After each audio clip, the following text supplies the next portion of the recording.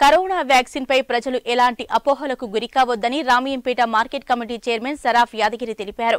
రామయ్యంపేటలోని community health సెంటర్లో Ramayampet market committee chairman తన చిన్ననాటి స్నేహితులతో కలిసి కరోనా టీకా తీసుకున్నారు. అనంతరం ఆయన మాట్లాడుతూ అరవై సంవత్సరాలు పైబడిన ప్రతి ఒక్కరూ కరోనా టీకా వేసుకోవాలని ఎవరూ కూడా ఎలాంటి అనుమానాలకు పోవద్దని టీకా వేసుకుని కరోనా మహమ్మారిని మన దేశం నుంచి తరిమి కొట్టాలని ఆయన సూచించారు.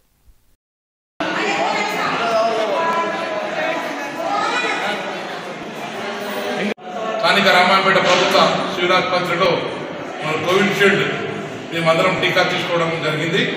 మరి స్థానికంగా ఉన్న సూపర్వైజర్ సునంద గారు మరియు మా మిత్రుడు మరియు డిపార్ట్మెంట్ వెంకట వెంకటేశ్వర గారు ఆధ్వర్యంలో దాదాపు మేము ఇప్పుడే ఒక పదిహేను నిమిషాల క్రితం పది మంది మేము టీకా తీసుకోవడం జరిగింది.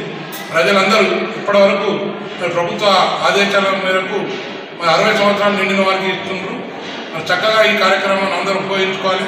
మరి ఈ కార్యక్రమంలో ఎవరు ఎలాంటి అపోహలు గురి కావద్దు. అందరం కలిసి తీసుకొని మరి ఈ కోవిడ్ పారద్వారాన్ని చంద్రంగా తెలియపరుస్తున్నారు